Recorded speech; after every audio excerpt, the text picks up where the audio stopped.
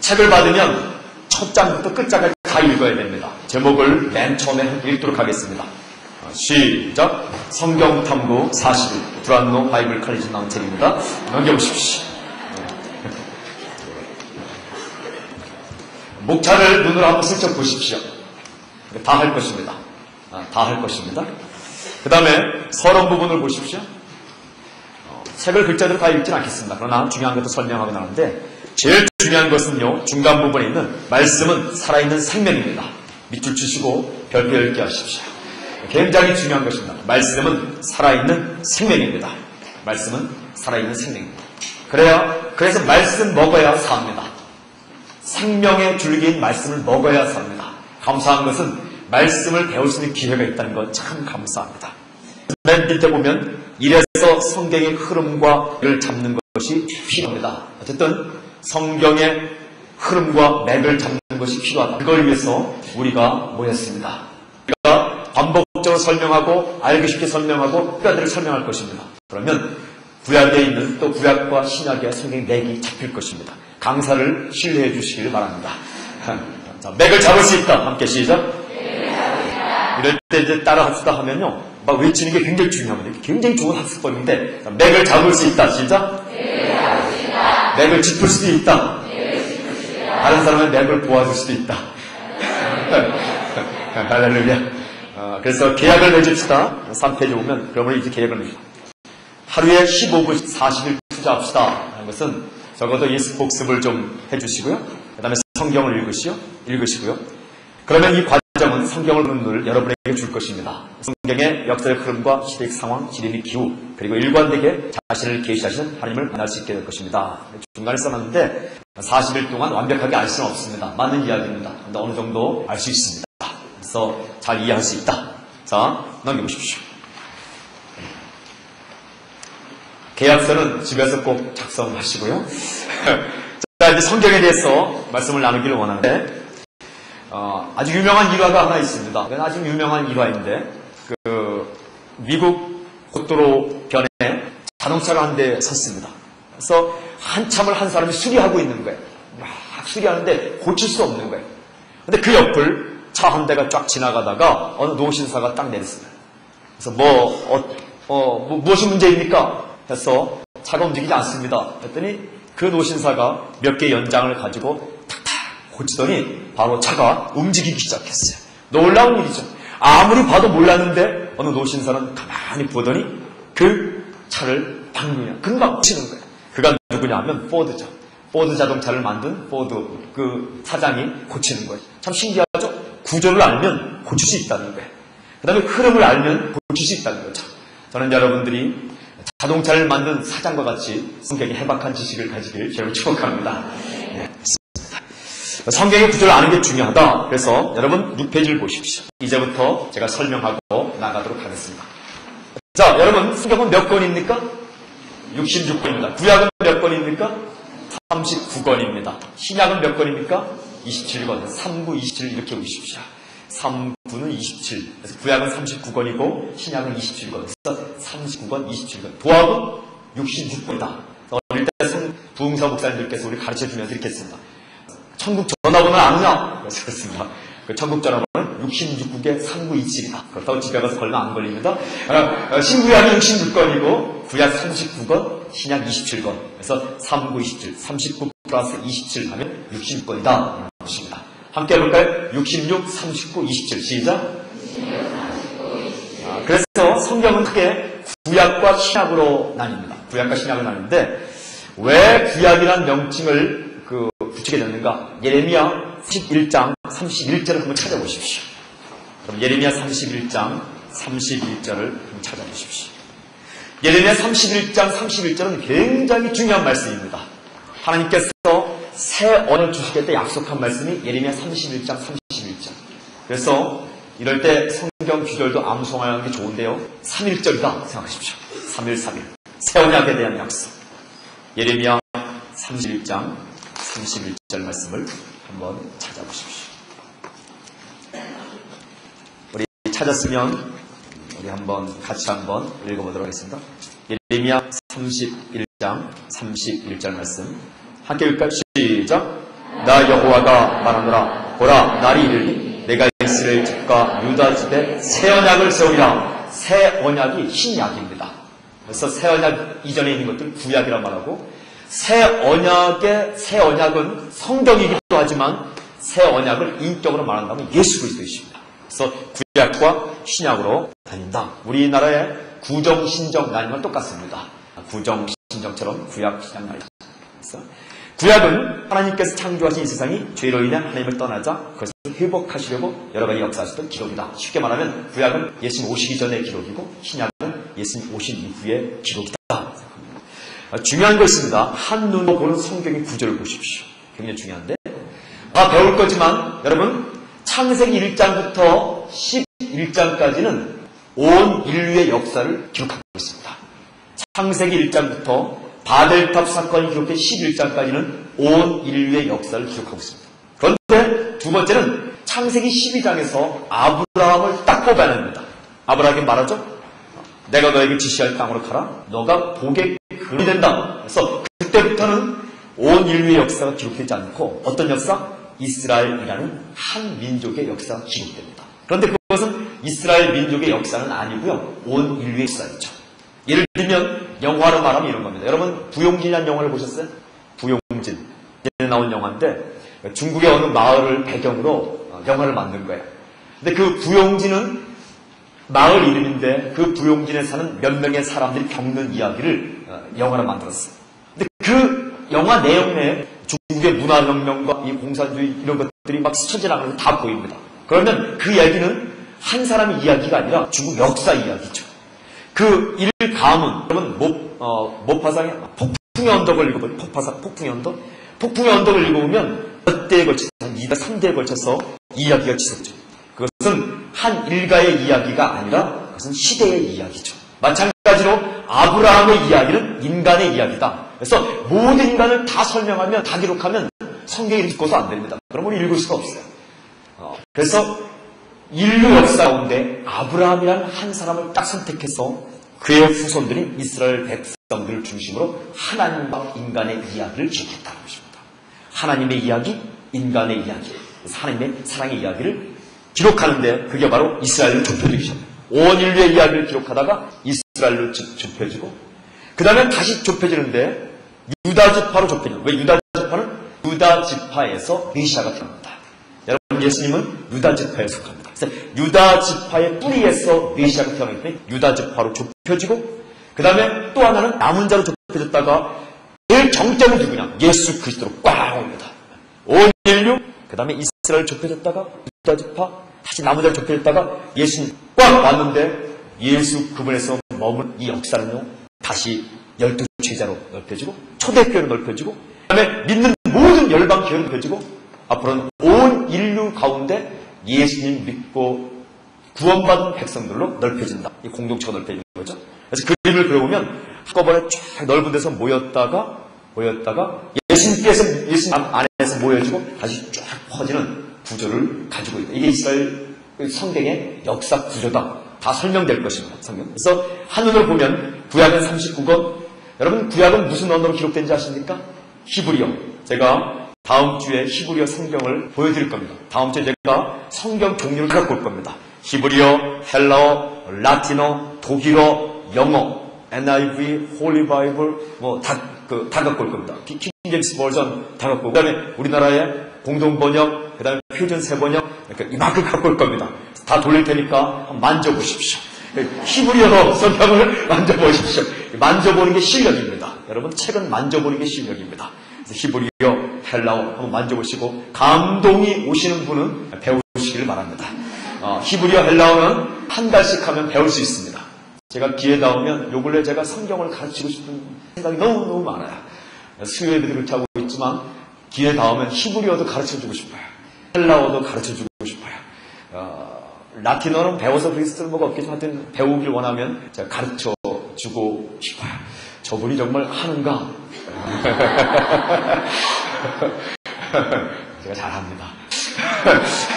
어쨌든 구약 39권은 히브리어 기록되어 있다. 그래서 창조 때부터 창조 때부터 예수님 오시기 전까지 기록되어 있고요. 신약은 헬라어로 기록됩니다. 헬라어는 그리스어, 히라보입니다. 배울 수 있습니다. 어렵지 않습니다. 쉽습니다. 예수님부터 종말까지 있고 성경은 66권인데 어, 히브리어와 헬라어로 기록된 게 너무너무 기가 막힙니다. 여러분 전 세계의 사상의 흐름을 두 갈래로 나누라 하면 히브리즘과 헬레니즘입니다. 네, 히브리 사상과 헬라 사상이 전 세계 사상의 흐름을 물론 서양이지만 흐름을 잡고 있습니다. 근데 그 두 언어로 기록되었어요. 또 하나의 언어가 있다면 라틴어겠죠. 그런데 예수님 바로 돌아가실 때에 그 위에 로마자로 표기가 되죠. 사람들이 라틴어로 번역했어요. 독일어 번역하고 또한 일본어로 번역하고 한국어로 번역하고 거의 전 세계의 언어로 번역되는데 아직도 그 나라의 언어로 번역되지 않은 그 언어가 있어요. 지금도 그래서 수많은 사람들이 그 나라에 가서 살다가 그 나라의 언어를 배워서 그 나라의 언어로 성경을 번역하죠. 기가 막힌 사역입니다. 한 가지 여기서 또 한 가지 여러분 우리에게 비전 성경을 대하면서 비전 한 가지 주면 여러분 여러분 중에 북하나 나이 어린 동생들 10살 차이 난 동생 이미 여러분 늦었습니다. 아, 실망하지 마시고요. 20대 이전 20대 이전 동생이 있는 사람 있습니까? 그 아이들 중에 영어를 너무너무 잘한다. 어학의 귀재다. 하면 소망을 주시되 성경 번역에 소망을 주십시오. 그래서 그로 하여금 히브리어, 헬라어, 라틴어, 어, 고대 근동어, 그 다음에 영어, 그 다음에 제일 중요한 것은 한국어. 한국을 전공하게 만들어서 성경을 기가 막히게 번역하게 만드십시오. 꿈을 주십시오. 그런 친구들을 위해서 교회에서 장학금을 주면 참 좋습니다. 제가 기회가 되면 그런 친구에 장학금을 주 유학을 보내고 공부해서 성경을 가장 쉬운 언어로 정확하게 번역하는 역사가 있어야 돼요. 또 한 가지는 어학을 잘하는 친구들 중에 고대 근동어를 배우고 히브리어, 헬라어, 라틴어, 영어, 독일어, 한국어를 배우고 아카도 같은 다 배워서 옛날에 이 토판, 흙, 흙으로 만든 판 위에 고대 사람들이 그 글을 썼어요. 근데 글을 해독하면 성경을 이해하는데 기가 막히게 이해할 수 있습니다. 그래서 우리의 조카들 중에, 그는 이제 아니죠? 조카나 어린 동생들 중에 또 여러분에게 떠날 자녀들에게 혹시 꿈이 있다면 꿈을 줘서 그런 것을 시도해야 되겠죠. 그래서 어쨌든 성경을 쉽게 전달할 수 있도록 정확히 전달할 수 있게끔 또 성경을 이해할 수 있는 책들을 쓰는 건 굉장히 중요하다. 중요하다. 무엇입니다. 자, 어, 구약은 몇 권이라고요? 39권. 어, 신약은 몇 권이라고요? 구약은 어떤 언어로 기록되어 있다고요? 히브리어. 신약은 어떤 언어로 기록되어 있다고요? 우리가 보는 성경은 어떤 언어로 기록되어 있다고요? 한국어. 할렐루야. 이게 은혜입니다. 이게 은혜입니다. 여러분, 한국어 성경을 가졌다는 건 은혜입니다. 정말 기가 막히는 겁니다. 이제는 다 라틴어로 들었거든요. 라틴어 어떻게 알아요? 자국어로 자기네 나라 말로 번역이 시작했는데 이게 기가 막힌 종교교회입니다. 우리나라 말로 성경을 읽을 수 있다는 거. 한번 성경 있으면 한번 끌어안아 보세요. 한국어 성경을 사랑해. 할렐루야. 그래서 구약부터 보면 쉽습니다. 구약부터 보면요. 어, 구약은 역사를 기록한 것이 있고 또 시를 기록한 게 있고 또 예언을 기록한 게 있습니다. 여러분 잘 보십시오. 구약 성경의 큰 주제를 말하라. 그럼 무엇일까요? 하나님이 주인이시다. 다른 말로 말하면 그걸 더 펼치면 하나님 창조하셨고 하나님이 다스리고 하나님이 구원하시고 하나님이 복 주신다 이런 내용이 들어있죠. 하나님이 창조하셨고 하나님이 다스리고 하나님이 구원하시고 하나님이 복 주신다. 한꺼번에 묶으면 하나님께서 다스리신다. 그게 구약의 놀라운 그 중에 한 가지가 다스리는 그분께서 구원의 문제까지 주도권을 가지고 있는데 그분이 구원의 문제를 위해서 다스린 그 결정체가 메시아입니다. 메시아. 신약의 큰 주제는 뭘까요? 예수 그리스도. 예수는 그리스도이십니다. 예수는 메시아이십니다. 이것입니다. 그런데 자 하나님이 이 땅에 오셔서 한 줄로 썼어요. 내가 다스린다. 끝. 하고 성경 주고 가셨어요. 그러면 우리가 이해하기가 힘들다고요. 또 신약을 쓰는데 예수는 그리스도이십니다. 끝. 하고 한딱 주고 갔어요. 그럼 우리가 가지고 있는 건 딱 한 줄이야. 한 줄, 그 뭐 자유이용권 같이 뼈, 표로 해갖고 여기 묶고 다녀요. 그러면 아주 단순하고 아주 그냥 명확하고 좋을 것 같죠? 그렇지 않아요. 그래서 하나님께서 66권이란 아주 다양한 성경을 기록했는데 자 보십시오. 창세기부터 에스더까지는 역사적인 형식으로 기록됐어요. 역사적. 역사에는 뭐가 기록됐습니까? 역사에는 이야기와 말과 말과 사건이 기록돼요. 말과 사건을 통해서 이야기가 형성되는 거죠. 또 한 가지 역사로 기록하기 위해서는 뭐가 있냐면 시간과 공간적인 배경이 필요해요. 이야기. 그래서 역사로 기록해서 진리들을 엮어서 주셨기 때문에 우리가 하나님을 이해하는 거죠. 그게 바로 창세기부터 에스더고 역사의 주제는 뭐냐? 하나님이 다스리신 다 이거예요. 이게 이스라엘 역사가 아닙니다. 성경의 역사가 하나님이 다스리신다. 여러분, 우리 성경 온 기가 막히게 아시지만 사무엘의 엄마 한나가 노래합니다. 한나가 자기 아들 사무엘 낳고 노래하는데 그 노래가 사무엘상 2장에 있는데 그게 뭐 여호와는 가난하게 하시고 부하게도 하시고 어? 또한 올리기도 하고 내리기도 하고 이런 노래가 있습니다. 노래 주제가 뭔지 아십니까? 하나님이 다스리신다. 이스라엘 백성들이 역사책을 기록할 때 사관, 역사관은 뭐냐면 하나님이 다스리신다. 마틴 루터의 사상을 한마디 기억하게 해보시면 Let God be God. 하나님을 하나님 되게 하라. 이게 성경이 주장하는 거예요. 역사의 기록으로만 하면 따분하잖아. 그래서 하나님이 하나님이심을 깨달은 사람이 시를 짓기 시작합니다. 하나님이 다스린다는 사실을 기가 막히게 깨달은 사람들이 노래를 부르기 시작합니다. 그게 여러분 욥기 시편 잠언 전도서 아가입니다. 잠언은 하나님이 진짜 하나님이다 라는 것을 격언처럼 말하는 거죠. 또 하나님은 진짜 하나님이십니다. 노래 부르게 되죠. 하나님이 사람을 사랑하는 것을 남녀 간의 사랑 표현하는 게 아가서이죠. 하나님을 사랑하는 백성을 하나님이 절대로 버리지 않는다는 것을 시적인 언어로 대화의 시로 쓴 것이 욥기이죠. 여러분 욥기는 역사라기보다는 시입니다. 주고받고 주고받고.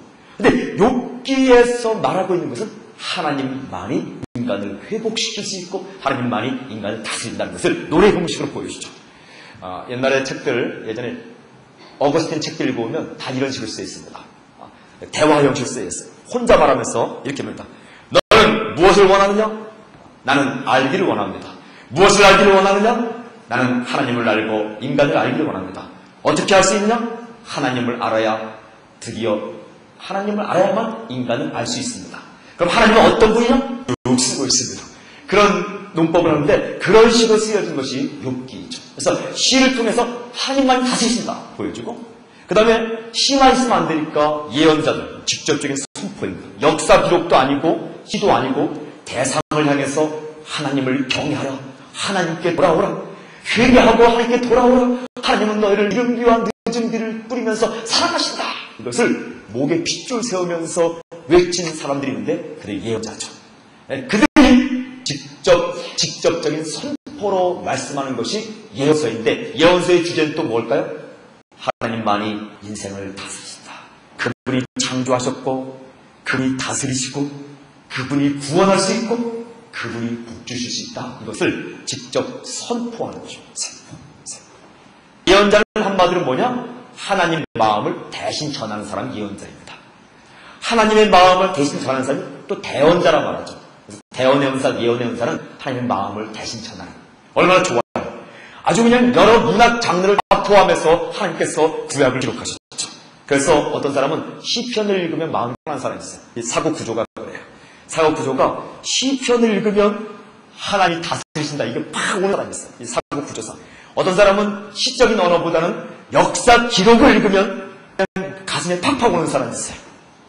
어떤 사람은요, 역사를 읽어도 밋밋하고, 시를 읽어도 밋밋하고, 그냥 한 대씩 꽝꽝 맞는 언어를 받아야만 어, 감동이 오는 사람이 있어요. 그게 다 꽝꽝 맞는 언어에 익숙한 사람은 예언서를 통해서 하나님 하나님 대신 시를 너무 좋아하고 낭만적이고 있는 사람들은 이 시사서를 통해서 그 다음에 역사적인 뭐 정확한 시간과 공간과 정확한 데이터와 정확한 명수와 그런 것들을 통해서 감동받는 사람은 역사서를 통해서 하나님을 만나게 되는 거죠. 예배 형식도 여러 가지가 있고 그쪽 무슨 하나님께서 여러 문학 장르를 다 포함하는 하나님은요 문학을 창조하셨어요. 하나님은 미술을 창조하셨어요. 하나님이 말씀하시는 이 것을 보면요. 이 시적인 표현보다도 그림적인 표현이 너무 많아요. 하나님은 교육학의 대가예요. 실물 교육을 하시고 하나님은 시의 대가입니다. 역사적인 기록이든지 시적인 기록이든지 직접적인 선포의 기록이든지 그들 가운데를 핵심으로 들어가면 하나님께서 다스리신다. 참 신은 여호와밖에 없다. 이것이죠. 진짜 신은 여호와. 그래서 시편에 오면 하나님 외에 누가 신이시냐? 하나님 외에 우리 하나님 외에 누가 신이냐? 신명기 6장에 보면 오직 여호와 우리 하나님만이 진짜 하나님이라고 선포하죠. 그런데 그 하나님께서 잘 보십시오. 그런데 그 하나님께서 정말 자기의 하나님 됨을 선포하는 결정적인 것이 뭐냐? 그것은 구원을 베푸는 것입니다. 먹을 것 주고 입을 것 주고 또 몇 마디 말하고 말씀하고 이런 것보다 더 중요한 것은 죄를 지어 에덴 동산에서 떠났던 인간에게 다시 돌아올 수 있는 길, 구원의 길을 줄 수 있는 것. 그것은 하나님밖에 할 수 없다. 그래서 하나님만이 누구를 약속하냐? 메시아를 약속하는 것입니다. 어떤 사상가도 메시아를 약속한 책이 없습니다. 그러나 하나님만큼은 메시아 세주 구원자를 보내줄 걸 약속하셨다. 그 약속을 따라 오신 분이 예수님인데 그 예수님이 십자가에 달려 죽으시고 갈릴리 바닷가를 걸었던 역사적인 그 예수 그분이 바로 우리가 기다리던 메시아요. 구원을 베푸는 하나님, 역사를 다스린다 하나님께서 보내준 메시아다. 바로 예수가 메시아다. 이것을 체험한 사람들이 쓴 책들이 신약이죠. 신약인데 신약도요 여러 문학 장르를 다 포함합니다. 첫 번째요 어, 신약을 보면 먼저 성경을 설명하고 제가 시대별로 설명할게요. 신약을 보면요 마태복음, 마가복음, 누가복음, 요한복음. 제가 예전에 우리 그 사촌 형이 있는데 어, 교회 안 다니는 형이. 저는 교회 다녔잖아요. 근데 그 형이 성경을 읽어봤는가 봐요. 그래서 무슨 성경에는 복음서가 많냐? 그래서 마태복음, 아, 그건 복음이 아니라 복음, 좋은 소식이라고. 이 마태복음, 마가복음, 누가복음, 요한복음은 복음서라 말하는데 복음서는 뭐냐면 이것이요. 이 사건의 기록으로 기록됐어요. 사건의 기록. 근데 사건이 누구의 사건 기록이냐면 예수님의 사건인데요. 두 가지 크게. 예수님이 하신 말씀과 예수님이 하신 사건들. 예수님이 하신 말씀, 월드와 예수님이 한 사건들, 이벤트, 기적을 포함한 사건들로 이야기를 엮어가는 거죠. 예수님 이런 말씀 하셨어요? 이런 사건이 일으켰어요. 이런 말씀 하셨어요? 이런 사건이 일으켰어요. 이런 말씀을 하셨어요? 이런 사건을 일으켰어요. 그래서 한마디 하는 거죠. 그 예수가 바로 메시아입니다. 그런데요, 마태와 마가와 누가 요한복음이 조금씩 달라요. 기가 막히게 재미있는데요. 마태복음은요, 구약의 성경을 막 인용해요. 규절마다 구약의 성경을 많이 인용해요.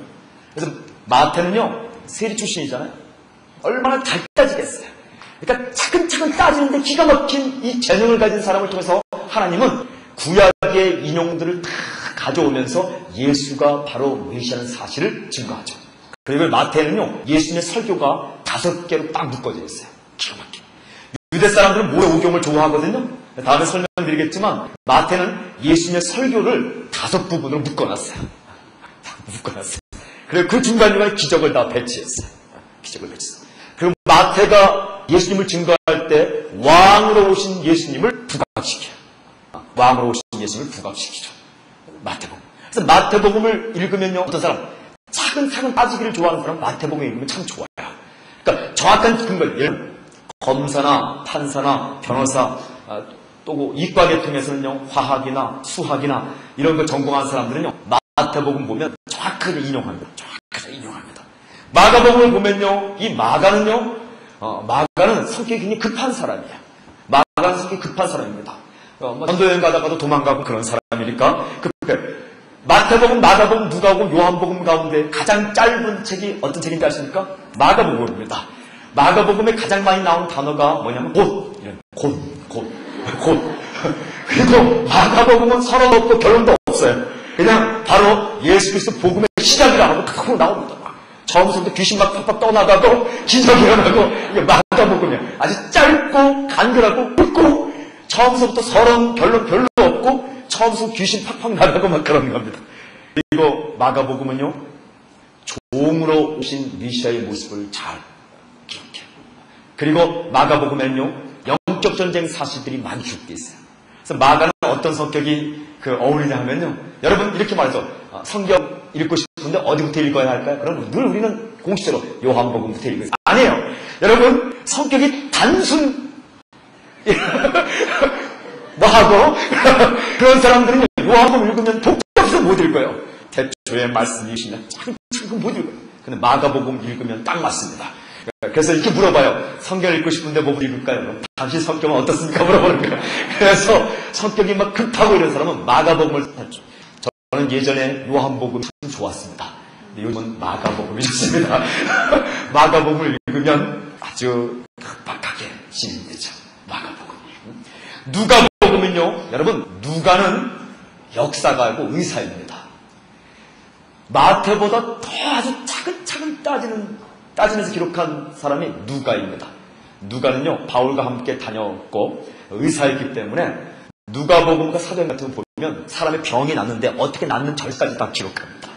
그리고요, 적어도 마태는 아브라함서부터 기록하는데 누가는 족보를 기록할 때도 아담서부터 기록합니다. 아담까지 올라갑니다. 예수 탄, 예수님 탄생의 이야기도 정확하게 막 어디까지 기록한지 아세요? 예수님을 마리아가 가, 그 뱃속에 가졌을 때, 어, 이 세례 요한의 엄마를 잡았던 세례 요한이 태중에서 예수님을 반가워했더라. 이런 것까지 다 역사적인 고증을 통해서 이런 것까지 다 인터뷰에서 기록했습니다. 그래서 사복음서 중에 가장 긴 성경이 어딘지 아십니까? 누가복음입니다. 장수는 마태가 28장이고 누가가 24장이지만 길을 딱 재면 누가복음이 더 깁니다. 예, 더 길어요. 그래서 이 역사적인 머리, 창세기, 출기, 레기, 민수기, 또 여수와 사사기 같은 걸 좋아하는 성격의 스타일은 누가복음을 보면 좋습니다. 요한복음, 요한복음은 마태, 마가, 누가 복음을 참고로 해서 다 흐트러서 나름대로 구조를 딱 짜서 기록하는 게 요한복음, 철학적인 머리. 그 다음에 헬라 사람들을 이 이방 사람들을 대상으로 기록한 주 대상으로 기록한 것이 요한복음입니다. 요한복음. 그래서 도에 대해 알기를 원하는 사람은 요한복음을 찾겠습니다. 전, 전력 같은 데 가면 이렇게 했죠. 도를 아십니까? 그런 분들. 아, 그러면 제가요, 예전에 신임역에 갔는데 어떤 여인이 나와 따라오더니 나한테 묻더라고요. 도를 아십니까? 제가 그때, 아, 그, 제가, 저는 예수 믿는 사람입니다. 가더라고요. 아, 그때 이렇게 말했어야 됐어요. 도를 아십니까? 했을 때 제가, 저는 도를 깨달았습니다. 그런 사람은 아, 요한복음 읽어보면 좋습니다. 다음에 더 설명하겠지만 요한복음 1장 1절은 태초에 말씀이 계시니라. 말씀이란 말이 우리말로는 도거든요. 도. 도 닦는 사람의 앞에 가서 태초에 도가 있느냐 눈이 번쩍 뜨는 거죠. 그걸 헬라어로 로고스라고 말하는데 아, 옛날 사람은 로고스를 알고 싶어서 진리, 진짜 길. 그들 앞에 가서 태초에 로고스가 계신다. 눈이 번쩍 뜨는 거죠. 그런 사람들을 위해 쓴 책이 요한복음이죠. 참 얼마나 감사해요. 마태복음만 있다면, 마가복음만 있다면, 누가복음만 있다면, 요한복음 있다면 여러분 다양한 성격을 가진 우리들이 만족 못할 때 어떨 때는 마가복음이 들어오고 어떨 때는 요한복음이 들어오고 사람에 따라서 다르게 들어오고 예수님의 말씀과 기적적인 사건을 딱 묶어서 예수가 메시아라는 사실을 전해주는데 하나님은 네 명의 독특한 출신 성분과 독특한 달란트를 가진 사람을 통해서 복음서를 기록하게 했죠. 베드로 복음서는 왜 안 들어갔냐? 베드로 복음서라는 것도 예전에 있었어요. 근데 정경을 선택할 때 그게 어, 진정성, 그러니까 진짜 같지 않아서 안 들어왔는데 아마 베드로가 복음서 썼으면 한 5장 정도는 쓰지 않았을까. 여러분 바울은 한 13장, 16장 쓰는데 베드로 전서, 베드로 후서 보면 그것도 5장, 3장으로 끝나버렸잖아요. 그러니까 말하더라도 열심히 사랑하라. 뭐 이런 뚝뚝뚝 끊잖아요. 자, 참 하나님은 베드로 같은 사람을 통해서 복음서 쓰면 예수께서 안수했더니 병이 나았다. 그렇게 했을 거예요. 그러면 이 마태, 마가, 누가, 요한 이게 축복입니다. 사복음서가 이게 축복입니다. 축복이고요. 그 다음에 직접적인 예수님의 말씀과 사건을 통해서 예수님이 메시아이다. 이것을 기록한 게 사복음서라면 예수님을 만난 사람들을 통해서 예수는 메시아다. 이것을 기록한 것이 이 역사서입니다. 예수 믿은 사람들이 예수 메시아심을 전하는 여기 그 사도행전입니다. 사도행전. 사도행전이. 그 다음에 예수를 만난 사람들이 예수님은 메시아입니다를 편지로 쓴 게 서신서입니다. 바울 서신이 13개요. 일반 서신이 8개인데 여기 어, 요한계시록은 보통 일반 서신으로 다루지 않고 어, 그냥 계시록으로 다룹니다. 왜냐하면 어, 서신서들 바울 서신 13개와 일반 서신 8개 여러분 일반 서신은 일반인이 썼기 때문에 일반 서신이 아니라 바울이 쓴 편지가 너무 많아서 13개를 바울 서신 이름 붙이고 나니까 나머지 편지를 다 모아서 일반 서신이라고 합니다. 어, 요한계시록은 그냥 계시록이라 말합니다. 여러분 요한계시록은 형태가 또 달라요. 편지 형식은라기보다는 드라마 형식입니다. 이 희곡 형식입니다. 시나리오입니다. 시나리오. 7막 7살 드라마입니다. 계시록은요 일곱 개씩 모아서 일곱 등분으로 딱 나눠져 있습니다. 이거는 이 시나리오 형식으로 만들어서 예수님이 바로 구세주시다. 그를 믿는 자는 생명책 이름이 기록되고 구원을 받는다는 것을 드라마 대본 형식으로 기록한 거죠. 기가 막힌 겁니다. 그래서 하나님께서 나서서 예수는 메시아이다. 그가 너를 위해 죽었다. 믿어라. 끝 했으면 야 황당한 거예요. 그 믿고 구원받는 사람이 있겠지만 어떻게 살아야 될지 삶이 어떤 건지 모르는 거죠. 그런데 예수님에 대한 말씀, 예수님의 말씀과 사건을 이야기 형식으로 사복음서. 그를 믿은 사람들이 전도하는 그 메시지 사도행전. 그를 믿은 사람들이 뜨거운 열정을 가지고 편지 쓰 는데 예수는 메시아이다. 이렇게 살아라. 서신서들. 그리고 요한이 편지 쓴 것도 아니고 환상 중에 보았는데 칠막칠강의 드라마를 보여주면서 예수는 메시아다. 보여주는데 계시록이죠. 그래서 이 성경 66권을 전부 보면 하나님께서 다스리는 권세를 가지고 있는데 그분이 세상을 사랑하셨는데 그 세상을 향해서 마지막 주고 싶은 것, 가장 주고 싶은 것, 그것은 생명인데 그 생명을 주기 위해서 오신 분이 메시아이고 그 메시아를 믿으면 구원 얻는다. 또 한 가지 구원 얻은 사람은 이렇게 산다. 라는 것을 성경이 보여주고 있죠. 그래서 66권이 다양한 장르와 다양한 사람들을 통해서 기록되고 있는 것입니다. 그래서 어떨 때는요, 마음이 울적, 울적할 때는 이 책을 읽으면 은혜가 되고, 어떨 때는 이 책을 읽으면 은혜가 되고, 어떤 사람은 이 책에 많이 은혜를 받고, 어떤 이 책에 많이 은혜를 받고, 다른 거죠. 다르다는 건 참 좋은 거죠. 그래서 성경 66권, 창세기부터 계시록까지 여러분 다 외우십시오. 따라볼까요? 창세기, 창세기부터 계시록까지 다 외우자. 시작. 한 번만 더 외우는 게 실력이다. 그리고 성경 찾기 한번 대회를 한번 열 텐데 예를 들면 어, 요한계시록 1장 15절 하면 탁 찾아야 돼. 세 번을 넘기면 안 돼요. 넘겼다가 넘겼다가 이것도 실력입니다. 그래서 성경을 사랑해야 돼요. 성경이 몸에 탁 익어야 돼요. 그러니까 막 찾다가 안 찾으면 어, 이거 내 성경이 아니라 그러지 마시고 이걸 찾아야 돼요. 그래서 아예 이번 기회에 창세기부터 계시록까지 어디를 찾아도 탄다. 오바돼서 하면 막 그냥 혼비백산하고 땅이라고 그러면 오바돼서가 어딨나 막 처음부터 목 쳐보고 그러지 말고요. 오바돼서 하면 쫙 해서 또 그렇게 말, 말씀드리면 어, 이제 상 찾읍시다 하면 빨리 한 번에 찾으려고 쫙 하지 마시고 다, 다 영어를 잘하는 사람은 사전을 잘 찾습니다. 사전을 탁 넘겼다가 앞으로 갔으면 뒤를 탁 넘겼다가 세 번째 딱 가면 거의 탁 나가야 돼. 그 영어 잘하는 비결이 아주 찾았어. 살림 잘하는 사람은 물건이 어디 있는지 압니다. 물건 탁탁 꺼내야 돼요.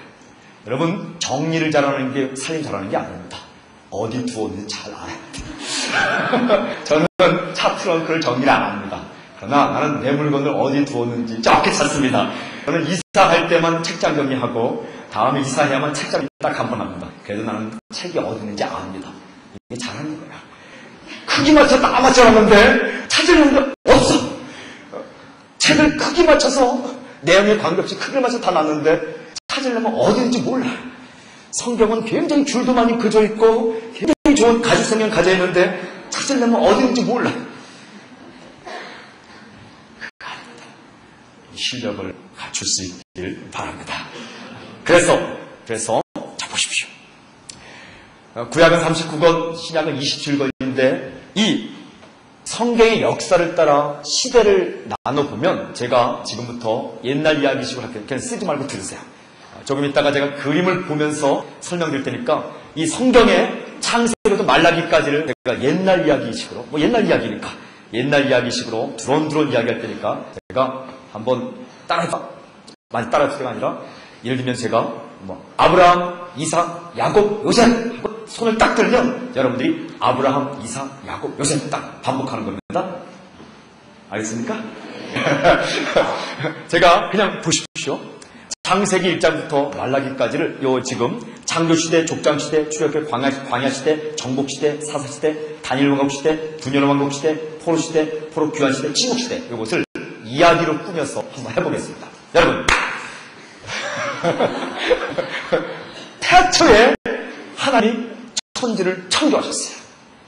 6일 동안 창조했는데 첫째 날은 빛을 창조하고 둘째 날은 궁창을 창조하고 셋째 날은 지와 바다를 창조하고 넷째 날은 해와 달과 별을 창조했어요. 그리고 다섯 날은 어리와 조를 창조하고 여섯째 날은 짐승을 창조하고 그다음에 인간을 만들고 일곱째 날 쉬셨어요. 그 인간을 창조하는데 남자와 여자를 만들어서 남자 이름을 아담, 여자 이름을 하와, 아담 하와. 아, 훌륭합니다. 그들에게 명령을 주셨는데 동산나무의 모든 질과는 다 따먹대, 따먹대 그 중앙에 있는 선악과는 따먹지 말라. 근데 하와가 그 말씀을 어기고 아담도 어겨서 그 말씀, 그래서 죄를 짓게 되고 에덴 동산에 쫓겨나게 되죠.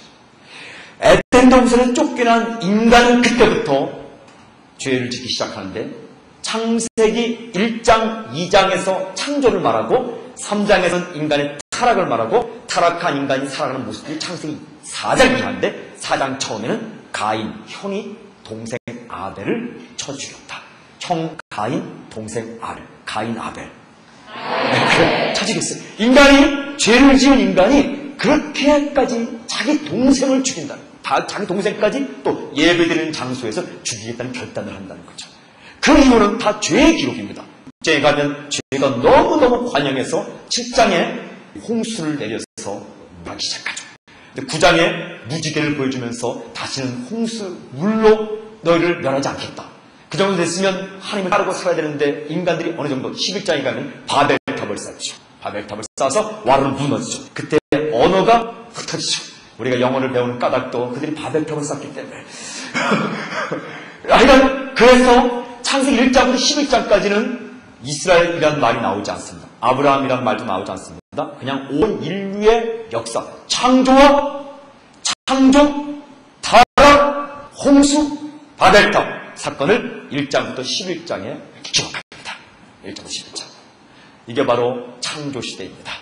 그래서 그런데 하나님께서는 이제 이 인간들을 좀 구원해야 되겠다라는 생각을 가지고 수없이 많은 인류 가운데, 인류 가운데 저 갈대아 우르에 사는 한 사람을 지목하기 시작합니다. 이 요셉이 애굽에 내려갔기 때문에 이스라엘 백성들이 애굽 내려가서 어디에 거하냐면 고센 땅에 갑니다.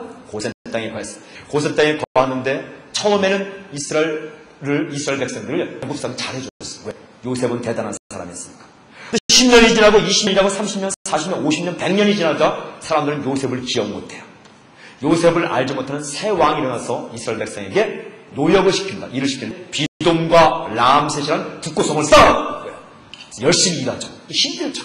옛날에 잘 먹고 살 사람들 힘드니까 부르짖습니다. 하나님 구원해 주십시오.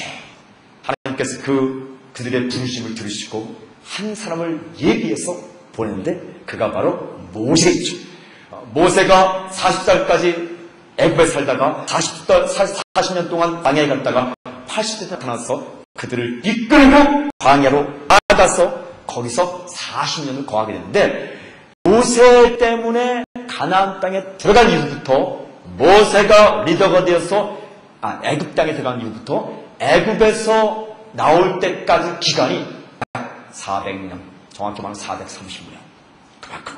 그래서 그것을 출애, 아, 그, 이 애굽 생활이고요. 거기서 모세가 나와서 모세를 중심으로 40년 동안 생활을 그 출애굽과 광야 시대 다지 출애굽과 광야 시대.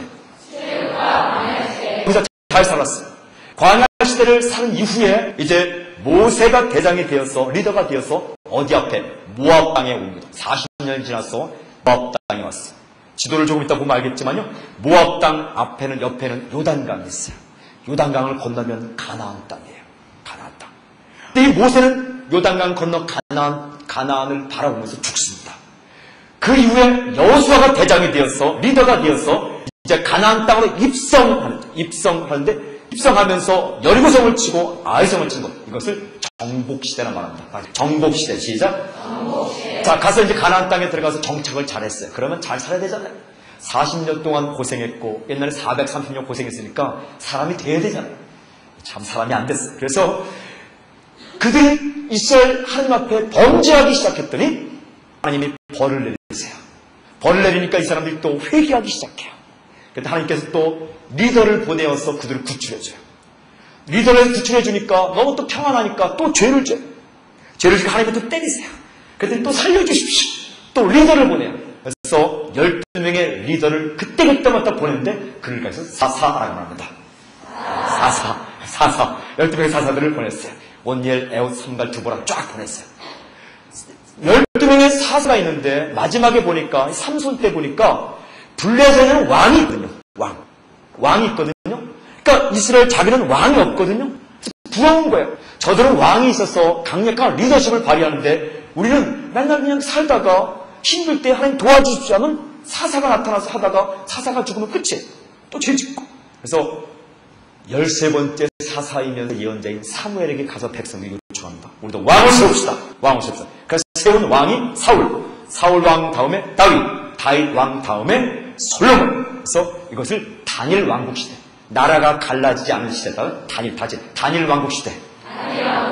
솔로몬의 아들이 누구냐면 르호보암이죠. 르호보암에게 사람들이 찾아갔죠. 아, 당신 와 아버지 솔로몬이 너무너무 우리에게 일을 많이 시켰으니까 좀 우리 일 좀 시키지 마십시오. 솔로 이 르호보암이 어른들의 말도 듣고 젊은 사람들의 말을 듣는데 젊은 사람의 말을 듣죠. 그래서 내 아버지가 이 채찍으로 너를 치겠다면 나는 전갈로 너를 치리라. 겁주죠. 그래서 이 북쪽에 있는 열 지파들이 독립한다. 그래서 북쪽에 있는 사람들이 갈랐어. 남쪽에 두 지파가 있고 북쪽에 열 지파가 갈랐어. 남과 북이 갈랐어. 그때부터 그때부터 남쪽은 유다라 하고 북쪽은 이스라엘이다. 그래서 이걸 다음지 분열 왕국 시대. 이스라엘 북쪽에 이스라엘, 북은 이스라엘, 남쪽은 유다라. 북 이스라엘의 초대 왕은 여로보암이다. 남쪽 초대 왕은 르호보암. 그래서 남쪽과 북쪽이 따로따로 분열 왕국 시대로 가는데 북쪽이 먼저 멸망합니다. 예수님 오시기 전 BC 722년. 네. 북쪽은 멸망하는데 북쪽은 어느 나라 멸망하냐면 아수르에게 멸망합니다. 조금 있다가 잠깐 쉬었다가 볼 텐데요. 지도를 보면 왜 아수르에게 북쪽이 망하는지 정확히 알 수 있습니다. 어쨌든 이야기식으로 북쪽이 아수르에게 망한 뒤에 남쪽은 어디에 말하냐면 유다는 바벨론에게 망합니다. 그런데 망하더라도 망하는 모습과 결과가 다릅니다. 북쪽은요, 그렇죠? 북쪽은 아수르에게 망하는데 아수르는 어떤 정책을 펴냐면 혼혈 정책을 펴니다. 피를 섞어버리는 거예요. 너희가 이스라엘 성매냐? 남자를 보내서 이스라엘 여자와 결혼시키는 거예요. 피를 섞어버리니까 선민 사상이 다 깨지는 거예요. 우리는 선택받은 백성이다. 피를 하나님의 피를 받은 백성이다. 이게 다 깨지는 거예요. 완전히 민족성을 다 말살시키죠. 북쪽의 중심 도시가 사마리아입니다. 남쪽은 남쪽은 그 이후에 한 백 몇 년 후에 무너지는데 남쪽을 무너뜨린 바벨론은 혼혈 정책을 쓰지 않습니다. 어떤 정책? 포로 정책을 씁니다. 그때 똑똑한 사람들 다 뽑아갑니다. 그때 뽑혀간 사람이 다니엘도 뽑혀가고 뭐 에스라 뽑혀가고 에스겔 다 뽑혀갑니다. 그래서 바벨론에 가서 거하죠. 70년 만에 돌아오고 보니까 돌아오고 보니까 여러분 이 돌아오기까지 바벨론에 끌려가서 3, 70년 동안을 포로 시대라고 합니다. 포로 시대. 그때 활동했던 사람들이 에스겔, 뭐 다니엘 이런 거죠. 이런 분들이 돌아오고 보니까 자 돌아왔어요. 돌아오고 보니까 뭐가 무너졌어요? 성전이 무너졌어요. 뭐가 무너졌어요? 성벽이 또 무너졌어요. 뭐가 무너졌어요? 자존심이 무너졌어요. 세 가지가 무너졌어요. 자존심이 무너졌고 성벽이 무너졌고 성전이 무너졌어요. 그러니까 하나님께서 이때부터 일으켜 세우기 시작해요. 그걸 가지고서 포로 귀한 시대다. 포로 귀한 시대 시작. 여러분 성전은 누구를 통해 세우는지 아세요? 수룹바벨이라는 사람이 짓게 만들고 그때 성전 지어라 성전 지어라 외친 학스가예요. 그 다음에 성벽은 누가 지요? 느헤미야가 있습니다. 무너진 자존심은 누가 만들어요? 에스라가 만듭니다. 에스라가. 그래서 민족을 쫙 만들어 가죠. 만들어. 그런데 남쪽 유다는요, 피를 섞지 않았어요. 포로로 끌려갔다 돌아와서 성벽도 재건하고 성전도 재건하고 자존심도 재건하는데 특별히 성전을 다시 지으려고 할 때 북쪽 사람들이 왔어요. 우리도 성전 같이 지읍시다. 남쪽이 반대한다. 당신들은 피가 섞인 민족이 되었기 때문에 거룩한 성전을 지을 수 없습니다. 이때부터 남과 북이 갈라지기 시작합니다. 그래서 그때부터 저 사마리아 사람 하면 피가 섞인 사람. 그래서 사마리아 사람을 무시하는데 수가성에서 여인을 만났는데 그 여인이 사마리아 여자죠. 예수님 물 좀 주소 했더니 이 그 여인이 당신 유다 사람인데 왜 사마리아 사람에게 물 좀 달라는가? 그런 배경이 다 그거죠. 피가 섞인 인정. 그때부터 이제 그 이후에 성전 짓고 난 한 80년 이후에 말락이라는 선지자가 예언하는데 말락이라는 선지자는 메시아가 올 것인데 메시아 오기 전에 한 선지자가 먼저 올 것이다. 그걸 엘리야라고 말하기도 하고 나의 사람 말하는데 세례 요한을 가르치죠. 그가 예언한 이후에 400년 동안은 예언자가 없습니다. 400년 동안 예언자가 없고 예수님이 나타나기 전 바로 전에 세례 요한이 나타나죠. 말라기 이후에 예언자가 없고 세례 요한이 나타날 때까지 약 400년을 침묵시대라 합니다. 침묵시대. 그 침묵시대 예수님이 나타나기 전 한 70년경에 세상을 지배하는 나라가 있었으니 그 나라가 로마죠. 그래서 예수는 로마의 지배 아래 살게 되고 그 전에 로마 이전, 이전에 이 바벨론에서 왜 돌아오느냐? 바벨론이 페르시아에게 망하기 때문에 바벨론은 호루 정책을 썼고 아수르는 혼 정책을 썼는데 페르시아는 어떤 정책을 썼냐? 포로 귀환 정책. 각자가 각 고향으로 돌아가라. 그래서 페르시아의 첫 번째 왕이 사이러스 고레스인데 그 왕이 명을 내려서 돌아오는 거죠. 돌아오는 거죠.